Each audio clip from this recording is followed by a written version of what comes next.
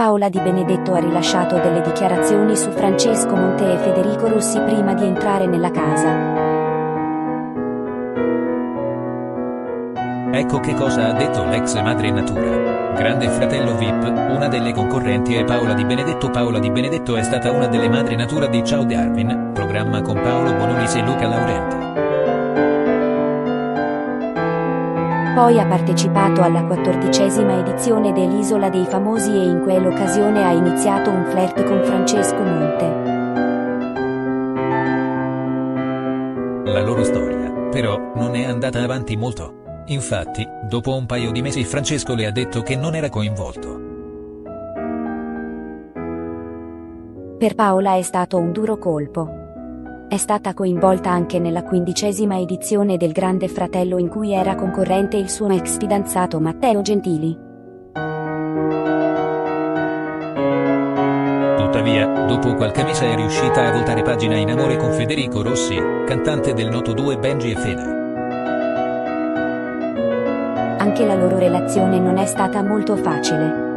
Ad un certo punto lei ha annunciato la rottura sui social, ma lui ha fatto di tutto per riconquistarla. Alla fine sono tornati insieme e adesso il loro amore è molto forte. Paola è stata scelta da Alfonso Signorini come una delle concorrenti del Grande Fratello VIP. La modella è molto apprezzata sui social, in cui lavora come influencer. Paola, le parole su Francesco e Federico intervistata dal settimanale Chi prima di entrare nella casa del grande fratello Dip. Paola ha ricordato la sua storia con Francesco Monte. Nessun rancore? A quanto pare non è proprio così.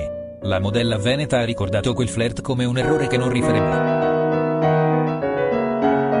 Inoltre, sembra decisa a rimanere innamorata di chi la aspetta fuori, ovvero Federico Rossi.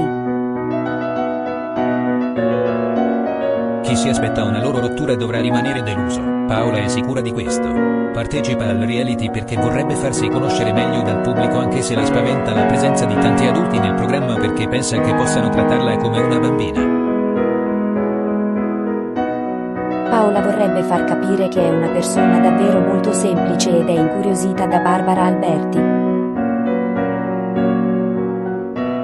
Anche gli opinionisti la incuriosiscono molto. Lei pensa che sia Wanda Nara che Pupo abbiano un bel caratterino.